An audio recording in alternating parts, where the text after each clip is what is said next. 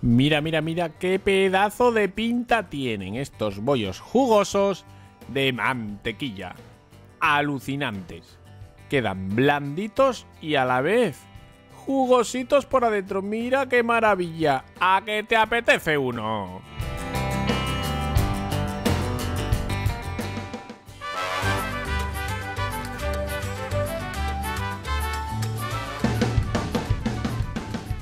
Hoy, unos deliciosos bollos o roles de mantequilla. Hola golosones, mira, mira, mira qué pedazo de pinta tienen estos bollitos. Y es que hoy vamos a preparar unos bollos de mantequilla así enrollados que quedan impresionantes. Atento a la receta que te va a encantar. Para preparar la masa vamos a utilizar 200 mililitros o una taza, 400 gramos de harina, que son más o menos 3 tazas, 7 gramos de levadura seca de panadería, que es más o menos una cucharadita, 2 cucharadas o 30 gramos de mantequilla, 50 gramos de azúcar, que es más o menos un cuarto de taza, un huevo tamaño L y un cuarto de cucharadita de sal, que realza un montón los sabores. Además, para el relleno vamos a utilizar mantequilla y azúcar. 60 gramos o un cuarto de taza de mantequilla y azúcar un poco para espolvorear, unos 70 gramos que son 2 quintos de taza. Además, un poco de algo que nos dé sabor, azúcar vainillada, canela o vainilla. Para el acabado vamos a utilizar un cuarto de taza o 60 mililitros de nata, crema de leche crema para batir y un huevo tamaño L.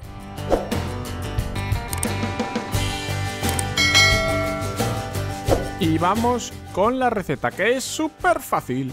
Primero vamos a preparar una masa, para lo cual ponemos todos los ingredientes en el recipiente. Así que empezamos por la leche, que ya veis que es una tacita. También vamos a añadir azúcar, más o menos un cuarto de taza. Movemos un poco el bol para que se reparta y añadimos el resto, el huevo, para adentro que va. En repostería normalmente siempre utilizamos huevos de los grandes, de los de tamaño L un cuarto de cucharadita de sal, que eso siempre va muy bien para este tipo de masas porque realza los sabores. Además añadimos la mantequilla, unas dos cucharadas, mucho mejor que esté a temperatura ambiente para que esté blandita. Y añadimos también la harina. De hecho, lo mejor es que todos los ingredientes estén a temperatura ambiente. Sumamos la levadura seca de panadería, si queréis utilizar levadura fresca también podríais, necesitaríais unos 20 o 22 gramos. Y listo, a amasar. Si tenéis una máquina de este tipo, lo puedes poner así, a velocidad medio-baja, durante unos 4 minutos, 4 o 5. Y luego subes a velocidad media-alta hasta que se te forme una bola de masa. En mi caso ha tardado unos 15 te acaba de formar, puedes ponerle un poco más de harina para ayudar al proceso. Si lo haces de manera manual, lo mismo, vas amasando y en cuestión de unos 20 minutillos, de unos 20 minutillos lo tendrías que tener listo. Si no se te acaba de formar una masa como esta que ves aquí, un poco pegajosa, añádele un poquitillo más de harina. Pero bueno, ya te digo que en unos 15 o 20 minutos deberías tener una bola con esta textura que ves aquí le voy a dar un par de amasaditos así de fáciles y os voy a enseñar la textura final. Siempre me gusta, aunque lo haga máquina, el último toque, aunque sean 10 segundos, dárselo con la mano. Mira, mira, mira qué textura tiene la masa. Ya tiene pinta de cosa rica. Lo que vamos a hacer es colocarla en un recipiente, tapar y esperar a que crezca. Como en todas estas masas que tienen levadura, aquí lo importante es que crezca bien. Así que si necesitamos más tiempo, más tiempo. Un truquito que está muy bien si tu horno lo permite es ponerlo solo a 30 grados centígrados, solo a 30 grados y meter el recipiente dentro para que crezca. Eso simula una temperatura ambiente un poco elevada que hace que la levadura funcione más rápido. Como acabáis de ver, ha pasado el tiempo, en mi caso unos 45 minutos, la masa ha crecido, le doy un leve amasadito para suavizar y a estirar se ha dicho. Hacemos un rectángulo casi cuadrado de un grosor fino, de menos de medio centímetro, unos 3 milímetros. Y hacemos una marquita. Siempre dejo unos 5, 6 o 8 centímetros por arriba que marco con esa rayita sin untar, para que luego nos quede el rollo mejor. La cuestión es en la parte de abajo, la parte grande, untar bien con mantequilla como estás viendo y repartirla bien. Para esto que esté calentita, temperatura ambiente o un poco cálida para que se reblandezca muy fácilmente. Esparces también el azúcar por toda la superficie, reservando esa franja que he marcado arriba. Esa franja es fundamental, va a hacer que el rollo quede cerradito y perfecto. También podemos ponerle un toque de sabor, la especia que quieras, vainilla, canela, lo que se te ocurra. Yo estoy poniendo azúcar vainillada, que a esta masa de mantequilla le va de lujo. Venga, espolvoreamos toda y listo, más o menos una cucharada. Ahora, en esta franja de arriba, lo que voy a hacer es ponerle un poco de agua. Lo puedes hacer con un pincel como este, con un spray o simplemente mojándolo con los dedos. Sin más. El objetivo es que luego nos ayude esa humedad a cerrar y sellar bien nuestro rollo. Ahora cogemos por abajo y poco a poco vamos a ir dándole vueltecitas sobre sí mismo, que quede apretadito.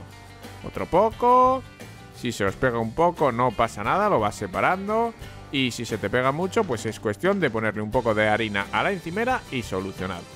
Aprietas sobre sí mismo y como la banda de abajo va a ser la que teníamos humedecida, se pega y se queda perfecto. Divides marcando bien las porciones que quieres cortar y puedes hacerlo con un cuchillo, pero te recomiendo este truco que he visto. Coges un hilo dental, lo colocas, sí, sí, lo que estás oyendo, un hilo dental, seda dental o como lo llaméis. Pones uno hacia cada lado, haces una especie de lazo y simplemente estiras, ¡pop! Y ya ves cómo se corta, perfecto y sin deformarse. Normalmente estos rollos cuando los cortas con un cuchillo se aplastan un poco, pero con este truquito del hilo, la verdad es que quedan redondos y perfectos. Y lo mejor de todo, se hace de manera limpia y en un periquete, mirad, ¡pum! Otro más. Giras y listo. Solo tienes que poner el hilo en la medida que tú quieras, cruzarlo y tirar de él. Así de fácil se cortan perfectos y no dejas ni una amiguita. Un truquito sencillo de hacer un corte perfecto. Luego cogemos el molde a utilizar, que en mi caso tiene 20 centímetros de lado, que además yo lo he forrado con un papel de horno para que el desmoldado sea más sencillo, y los colocamos dentro con cierta separación. Si no tienes papel de horno, no pasa nada, úntalo bien con mantequilla y harina y también te desmoldará. Ahora lo vamos a tapar con un paño de cocina, pero antes vamos a darle un poco de humedad. Así que lo mismo de antes, con un spray o con un pincel y si no tienes ninguna de las dos cosas, simplemente con la mano bien limpia, le ponemos un poco de agüita por encima. Y luego lo que os decía, un paño y a esperar nuevamente que doble su volumen. Suele tardar también lo mismo de antes, en mi caso han sido 45 minutos, pero a veces tarda un poco más. Luego pintamos con huevo batido y lo tenemos listo para hornear. Así que a pintar todos los bollos muy bien y al horno que me voy. El cual tengo precalentado a 180 grados centígrados o 355 Fahrenheit. La cuestión es meterlo, colocarlo a una altura medio-baja, con calor arriba y abajo y si es posible sin ventilador. Lo vas a tener durante 12 minutos y pasado ese tiempo abres el horno y le viertes, vertes o echas encima, como se diga, un chorro de nata. En este caso, nata de toda la vida, nata de montar. También mierda, crema de leche, crema para batir, chantilly. Vamos, el típico líquido blanco que tiene al menos un 28% de materia grasa. Lo colocas así por encima para que le toque a todas las rendijas y también a todos los bollos y para adentro. Recordar, primero lo habíamos horneado 12 minutos y ahora vamos a darle unos 15 minutos más. Sabrás que están listos porque los vas a ver doraditos y con una pinta fantástica. Así que yo ya los tengo. Voy a abrir aquí Y mirar qué pedazo de bollos de mantequilla hemos preparado en un momentito. Mira, mira, mira qué pinta tienen al salir del horno. Lo que voy a hacer es dejar que templen un poco antes de desmoldar. Y esto, como siempre, es bueno hacerlo con ellos tapaditos para que la temperatura baje de manera uniforme. Así que con el mismo paño de antes, lo coloco aquí y espero un rato. Pasado un poco de tiempo ya, tiempo, ya puedo manipular. Mira, mira qué pinta. Si es que esto es un auténtico recetón. Vamos a quitar el molde, retirar estos papelitos que había puesto para que se me desmoldara fácilmente y simplemente me queda decorar un poco. Le voy a poner un poquito de azúcar glass para que haga contraste y a disfrutar. Vamos a coger uno y mira, es que son una auténtica delicia. Se ven húmedos, pero a la vez esponjosos. Mira, mira, mira, voy a abrir uno porque lo importante en los postres como en las personas está en el interior. Mira, mira, mira qué pinta, madre mía, yo ya estoy salivando de nuevo solo de verlos. Y es que la receta de hoy es una auténtica maravilla.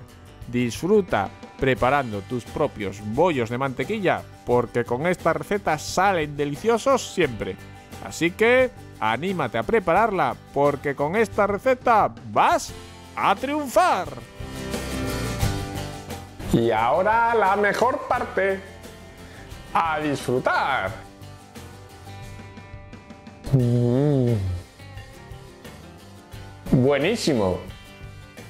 Queda una masa suelta, suavecita, pero con un sabor fuerte que te lo da la mantequilla. Además notas el sabor de vainilla o de la especie que le quieras poner. ¡Qué bueno! Gracias a tener mantequilla quedan bastante húmedos, así que están mejor que nunca. Unos bollos jugosos y a la vez esponjosos, una combinación ganadora. Además, te recuerdo que yo los he preparado con un poco de azúcar vainillada para darles un toque. Oye, ¿Con qué te apetece hacerlos tú? Seguro que se te ocurre un toque de sabor que les iría genial. Se me ocurre vainilla, se me ocurre chocolate, se me ocurre canela. Cuéntame, ¿qué toquecito les pondrías tú por dentro para que quedaran exactamente a tu gusto? Y así yo voy cogiendo ideas. Mientras tanto, puedes ver este otro vídeo que ya ves que tiene una pinta sensacional. O puedes pulsar aquí para suscribirte al canal si aún no lo has hecho. Activa la campanita y las notificaciones y todos los miércoles y sábados te avisarán de que tenemos otra cosita dulce para ti. Y aquí mi canal de recetas saladas.